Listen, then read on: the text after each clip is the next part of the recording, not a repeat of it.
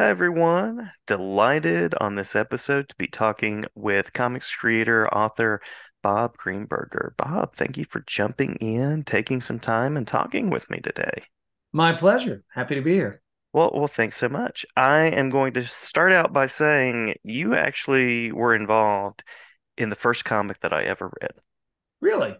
Yes, you did a, a backup story. It was Batman Annual number 12, I believe, is the Ah, one. the only Jason Todd solo story before he died.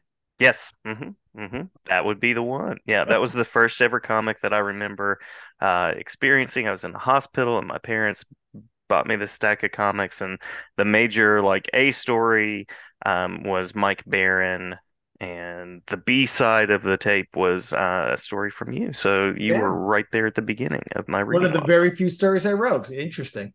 Yeah, yeah. Uh, absolutely, yeah. And um, of course, you're also known as a, an editor, editing works like uh, Suicide Squad and uh, some of those titles through that time as well. Doom hmm Patrol being one of those as well.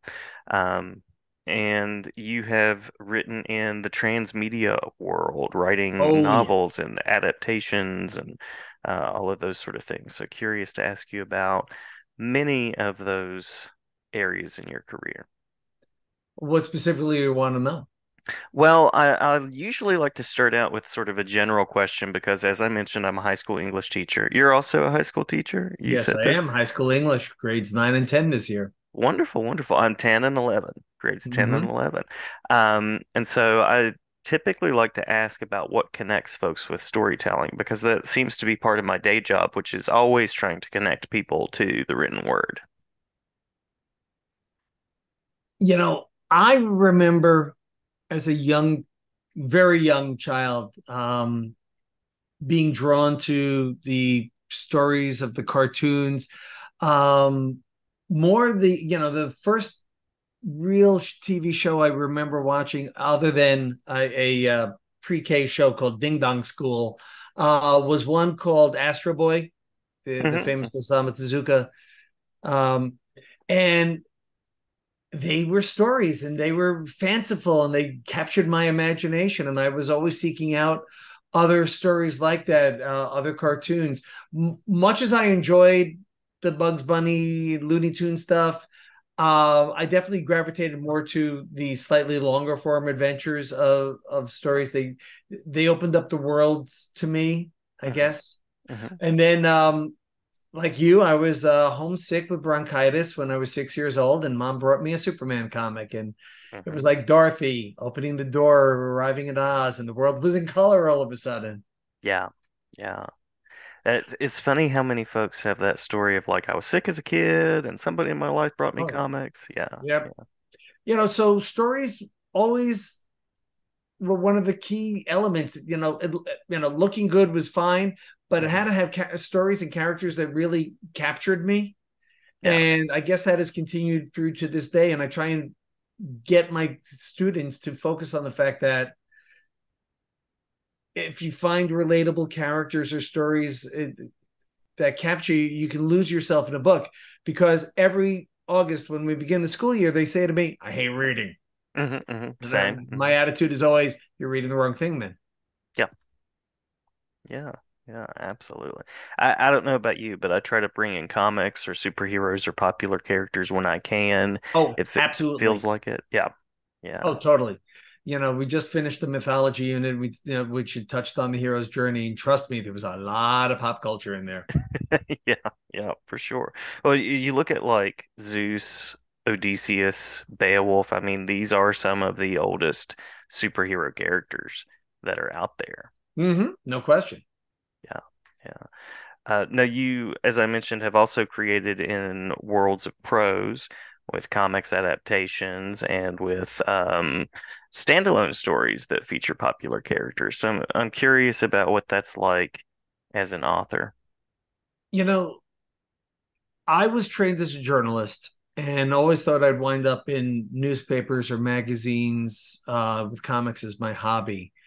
But when I was getting out of college in 1980, the only place that uh, made me a job offer was Starlog Press, and suddenly I'm writing about comics and science fiction and horror uh, for Mm-hmm. Starlog, and then the comic scene which I created for them, and that got me into contact with the people at DC and Marvel. But uh, DC wound up making me an offer to come over as an associate editor, and that put me in a whole creative world I wasn't really thinking I'd be in. So on the one hand, as a comic book fan growing up, it was like dream come true time. But it also exposed me to a creative process I didn't anticipate being caught up in. Um, so I was very hesitant to tackle fiction at first. So when uh, Dave Stern, the editor at uh, Pocket Books, uh, invited me into a collaborative Star Trek novel, it was a really an interesting way for me to try writing fiction because I was surrounded by three other professional writers, actually four, no, three writers, sorry, uh, three other writers who would then be able to show me the ropes and cover up my mistakes and give me a real taste of what prose writing was going to be like. And it was a process. There, there, I made mistakes. There were aborted projects, uh, but starting with the media tie-in stuff, one, it meant I was playing in sandboxes I knew intimately well, and I didn't have to stop and create from the ground up. Uh, it was a really good training ground. And then I'm writing characters I grew up on. How how cool is that? Yeah, yeah, absolutely, absolutely. And, and I love the idea of writing as a process as well, um, and going through the steps and and all of those pieces. Mhm. Yeah. Yeah, I mean, you know, as a comic book editor, one of my favorite aspects of it was the collaborative process, sitting around with the writer and the artists, saying, "All right, what are we going to do for the next storyline?" and beating it out, and that translated itself to the collaborative process on that first Star Trek Next Generation novel, Mhm. and um, that's why I've done a fair number of collaborations over the years because I enjoy that back, give and take back and forth. Yeah, yeah. Now you've also done at least a couple of film adaptations as well. Well, the only straight film adaptation I've done was the uh, Hellboy 2, uh, the Mhm. Golden Army novelization. Uh, everything else has been tie-in related to a film. Mhm. Um, the caveat there is uh, when Peter David had his stroke uh, while he was writing the novelization of After Earth, Mike Friedman and I stepped in to finish it for him, Mhm. Mhm. but it was mostly his. Yeah, yeah. And I guess I'm thinking also the the Batman animated adjacent work that done Um, as well, I did the one comic book uh, for uh, Batman the Brave and the Bold, Mhm. um, which I was hoping would lead to more, but then the editor left and they can't they canceled the book and it just never materialized. Yeah, yeah. I, I've really enjoyed the takes on that character through the different ways that animation has been applied. But um, yeah, yeah. uh, So glad to see your history with that character. Norm Breyfogle was the the person that got to bring your story to life in that first issue that I mentioned for Yeah. I mean, again, that was on the early end of Norm's career, and he was getting his feet wet drawing Batman stuff before becoming the regular artist on Detective. He was young and he was enthusiastic. I remember um, his agent Mike Friedrich introduced us at a convention. Uh, we always got along, uh, although oddly, when we did that story, I wrote the script. Denny O'Neil sent it to Norm. He drew it. It got printed. I never talked to him about it. Yeah, yeah. Yeah. That's, I guess, how the collaborative process works sometimes. That well, absolutely. Especially, you know, there are writers like Neil Gaiman who insist on knowing who their artist is to write to that artist's strengths. Back Mhm. in the 80s and earlier, you pretty much just wrote the script, gave it to the editor, and hoped for the best. Yeah, yeah. Now you also were in the editing role, as I Oh, mentioned, yes. and as you were talking about, uh, and you got to work with folks like John Ostrander, of all Yeah. people, with uh, the Suicide Squad, which still just, I was rereading some issues earlier this week, and it just stands up over Well, time thank you. yeah, it's a, it's a great work. Um, Well, I so, think there, John, tra- you know, just as I trained as a journalist, John was a playwright at first. Uh-huh, uh-huh. and brought a lot of that theatrical element to the characters and the group dynamic in the Suicide Squad. And he had a fresh take on those characters, having not written them for the last 20 years, um, as has happened on other, you know, teen books and all. And John and I were able to mix and match characters um, to come up with a dynamic where we had some fallen heroes, some hoping for redemption, some criminals who just were downright evil. Mhm, And mhm. you know, how, how do you you know watch each other's back when you can't trust them? yeah, yeah. It was tremendous fun. And I think one of my favorite characters that came out of that whole series, I don't know if he existed before then, but the Bronze Tiger character was just yeah, the Bronze Tiger was created by Denny O'Neil uh, for uh, the novels he wrote under a pen name uh, featuring the Richard Dragon character. Then, when Mhm. Dr- Richard Dragon Kung Fu Fighter went from the novels published by Warner Books, uh, you know, a sister company to DC, in the 1970s, it became Richard Dragon Kung Fu. And Ben Turner, the Bronze Tiger, was introduced there and Mhm, pretty much had vanished after that book ended until Denny used him to kill the Kathy Kane Batwoman character in an issue with Detective, then vanished again until pretty much John and I brought him back. Yeah, yeah. But I, I love that. Uh, there, there's just something about that character that I enjoy, and I love the just on the spot history that you know about all of these characters and uh, the way that all of it came to be. Yeah, you know, you read these often enough, you write about them, you talk about them, you know, they stick. Yeah. I always like to kind of hear about and point out the positive collaborations because I- I've invited a lot of folks on this podcast and everyone's been kind. I'm assuming the folks that aren't as kind haven't responded or are just busy. Um, but I mentioned a couple there with Norm Breyfogle, John Ostrander. Mhm. Uh, curious about other folks that have been particularly positive collaborations, and also folks that, as an editor, you're you're just proud of to see how they sort of grew after working with you.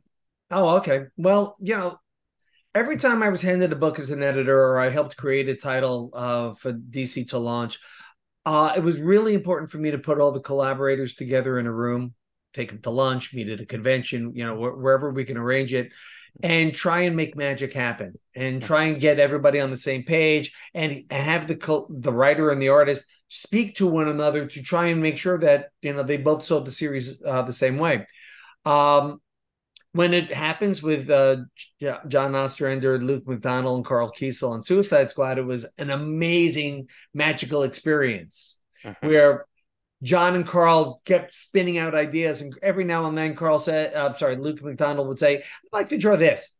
John said, "Great, I'll put it in the next issue." You know, but you know, Luke was just happy to draw and sit back and hear the guys go back and forth. On the other hand, when I inherited uh, Doom Patrol, Steve Mhm. Lightle was just leaving the series. I was being handed this brand new kid named Erik Larsen, who I hadn't met yet. Mhm. And Erik Paul Kupperberg, the writer, and I met at San Diego and we had a dinner. And it was clear from the get go they saw the book in different ways. And Yeah. Paul was being very proprietary because he was a major Doom Patrol fan, had written a previous incarnation of the book. He had been waiting for this book to come along because Steve Lightle took forever and a day to draw each issue. And, you know, so that, you know, he had been living with it and he had very clear ideas where the book was going. And Erik just wanted to blow things up and have, you know, which is why the first villain he created was Shrapnel for the book, where he Mhm. just exploded and all. Um, but they kept clashing heads until finally um, Eric quit. He said this wasn't working for him and he was starting to get other offers based on what he'd been doing for the suit, uh, Doom Patrol. Numbers had been tanking for whatever reason. And as the editor, my job was to make it commercially viable, make it profitable for the company. Mhm. And I think as the editor, my job, I decided was I needed a clean sweep. I needed to have a whole new creative team come in. And one of the hardest days of my life as an editor at DC was taking Paul, who I've known since we were like 14 years old together, Yeah, yeah. to lunch to say, I have to take you off the book. Yeah. And he accepted it, not happy. Uh, by then, I had already um, found Grant Morrison to come in and be the new writer. hmm And he had this amazing vision in this like 20 page proposal. And I used that to get me get Richard Case to sign on to be the artist.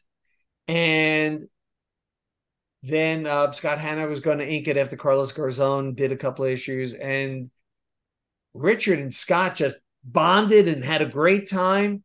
Um, Grant was in Scotland, and of course, transatlantic calls were expensive back then, so we didn't talk that often. Uh, he hadn't come out to any of the shows, so we couldn't do the same sort of collaboration. But yeah. Richard and Grant, through Grant's original vision, came together and collaborated wonderfully. Even though it was at a distance, I don't know how often they spoke back then. I'm sure a couple of times. Um, but you know, they had this very long-lived collaboration that was proved very successful. Yeah, yeah. I mean that run, the Grant Morrison and Richard Case take on uh, Doom Patrol is pretty legendary. Yeah. Well. Yeah. Um, one of the surprising bits of collaboration was uh, I inherited Warlord, and Michael Fleischer was writing it, and Ron Randall had been drawing it for a while, and he was going to come off the the title. Um, other things had come up, and I uh, tapped uh, the Jan Sema, who was mm-hmm. coming off Arion, I said, you know, Jen, I'd like you to draw Warlord. And she asked if her husband, Tom Mandrake, could ink her because this way they can get it done. And they were very excited about working together. And and I took Michael and Jan and uh, Tom to lunch. Mm-hmm. And Michael had been writing for DC since the um, 19 mid 70s, you know, when he started for the company. And he sat there stunned because apparently no editor had taken him out to lunch with the right talent, be- uh, the artists before. And yeah. he was sitting there listening to Jan, and he was getting excited in ways he hadn't been before because he was just writing the script and was sent it to you know uh, Ross Andru and then Denny O'Neil as the editors, and they just sent it to the artist, and that was that. Mm-hmm, mm-hmm. But to sit there and go back and forth with Tom and Jen coming up with new corners of Skartaris to visit. It was very exciting for them. And and I think I got some really good stories out of him as a result. Yeah. yeah. You know, the book only lasted 10 issues, no, 11 issues with the two of them, uh, three of them, I should say, uh, as the creative team, but they were really good. Yeah. Yeah, for sure. Well, and you've said a couple of things there that are so important to the editing role, which is fostering that collaboration and also having those difficult conversations when it's clear that people have other things in mind. And uh, mm-hmm. shout shout out to Erik Larsen for going and and doing the amazing things in comics that he's done, and Paul Kupperberg as well for being uh, an epic creator. So uh, yeah, yeah, and, and shout out to you as the editor for managing the relationships and directions of the titles and characters. But that that's the job, and every mm-hmm. title you you have, it's different. Sometimes you have to be the bartender who listens to everybody's tales of woe. Other times you have to be the bartender who knows when to cut them off. Right, right. And other and and other times you have to sit there and carefully mix the cocktail in front of them, make sure you have the right proportions of you know the ingredients, and other times just sit back and watch. Yeah, and you have to know which is which. Yeah, great metaphor. Great metaphor. Um, so, by means of a, a, final official question, and then we can hit anything that we missed. Sure. Uh, I always like to ask about creative directions that folks are taking now. And you are talking about um, working with high school students and being an adjunct professor and I mean the creativity that that takes alone. Uh, every day is sort of that. You you can't do the cocktail metaphor in quite the same way, but managing those relationships is absolutely uh, part of that as well. So curious about the author and creating teaching that's currently part of your your life. The high school classes, as you know, you know, have their own identity so I've got mm-hmm. three sophomore classes, and they all have different vibes to them. Mm-hmm. Mm-hmm. And one tries my patience on a daily basis, and the other two are, are okay, could be mm-hmm. better uh, when I'm delivering the same material. But I know where I need to hype things up and you know get them excited about what it is we're doing, or or give them foundational background that I, I'm surprised they don't already know uh, stuff that I thought they learned in the classes down the hall. Yeah. Yeah. And, um, you know, like this week, one of the kids was complaining to me. He says, you know, the English classes, uh, my American Lit class is feeling like a history class. I said, you have to know when these stories were written, why they were written. Mm-hmm. Uh, you know, and, and I point out to them, you have to understand the context um, so that as we're going through the eras, you understand that Walt Whitman wrote a poem that Langston Hughes responded to 50 years later. Mm-hmm. Mm-hmm. And then again, uh, Julia Alvarez responded in her own way 40 years after that. I mean, there's this ongoing dialogue in story and song and poetry and and you know as attitudes and and uh, things change and you these can't work in a vacuum. So yes, history is a part of it, and I have to explain this to them on a regular basis how it all connects. Or the religious illusion. So I say, remember in history, religion class, you learned about the Trinity or you know the Adam and Eve story. Oh yeah, all right. Mm-hmm. uh, what's different is um, I'm adjuncting this semester as uh, at the Maryland Institute College of Art. It's a senior level course on making graphic novels. And I'm putting my comic book editor hat back on. And once again, I'm working with uh, 17 students producing 30 page graphic stories. And so I'm going through the basics of, you know, um, their page layouts or their um, story structure. Uh, and it's like, this is really exciting because I haven't done this sort of thing in a while. Yeah, yeah. So it's a whole different vibe. And yet they're still students. So they right. they fall behind, they want extensions, they've got excuses, they show up without a no explanation. College students never want extensions, right? That's not yeah. yeah. Well, I, I know course that ends well. December 13th. I'm getting what I get on December 13th and grading based on that, extension or no. That's yeah. You, as you mentioned, you got to know when to cut it off. Absolutely, mm-hmm. absolutely. Well, they stopped paying me after the 13th, so I stopped. You know, not caring, but stop uh, listening to the excuses. Yeah, yeah. Well, and you you only have so long to get those trades in too. Exactly. The deadlines are there. And that's, uh, you know, 17, 30 page stories. I have to carefully review the finished product. And, and, you know, given everything we talk about week to week, because uh, we're in class basically from four to nine every every Wednesday night. Mm-hmm. Um, you know, did they take my advice? Did they learn from the experience? Do I see growth from week one to week fourteen? Uh, you know, this, so there it's one on one collaboration, being them. Mm-hmm, mm-hmm. Yeah. yeah. Well, you and I live a similar life in exploring American literature too, because I've been asking my students to compare Holden Caulfield and Emerson and Thoreau and that that ongoing story. So much appreciation there on the education side as well. Yeah, you know, for me, as, as we look at some of these older classic works and we know what we know, um, you know, I, I tell some of my kids, you know, some of these books have sort of aged out. Mm-hmm. Uh, and in some ways, given what we know now about people's mental health and uh, the need for resources, I stopped finding Holden a really interesting character as instead I'm indicting the parents for not getting him the help he needed. Yeah, true enough. True enough. And, uh, you know, uh, as my some of my kids are picking uh, To Kill a Mockingbird for um, independent literary analysis project, and given all the discussion in the last couple of months about Mockingbird being no longer appropriate, uh, making uh, students of color uncomfortable with mm-hmm. the white savior concepts. Mm-hmm. Um, it's like I I am sympathetic to that, but it's still there's so much good writing and character in there. Yeah, it's you know if you accept it with the context of the times because she wrote it in the 50s based on Emmett Till, but it was also a Valentine to her childhood of the Depression. Yeah. This is how things were back then. And yeah. you know, be accepted for that. You know, it's an ongoing conversation. It is. It is absolutely, and it's not the only story. We've got Ralph Ellison. We've got oh yeah, um, Richard Wright and other folks. We got Zora Neale Hurston, but definitely uh, a story that holds up and has part of the conversation. I love her stuff. Oh yeah, and I'm glad she's been sort of rediscovered over the last you know 20 years. Yeah, shout out to Alice Walker there. All the oh, literary right. shout outs here from Erik Larsen to Alice Walker. There you go.